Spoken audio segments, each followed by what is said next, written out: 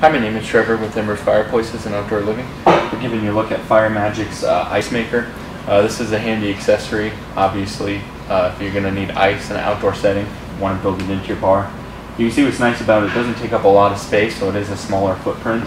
Uh, it does produce a, a, good amount of ice, it's very straightforward. You can see your ice can be made up here, it's going to drop it into your bin, and you have constant, uh, steady flow of ice. So, Fire Magic's great product, uh, stainless steel finish, obviously. If you have any questions, you can check this out on our website at www.blazingembers.com or call or text our staff at 805 952 5440. Thanks for checking out this video.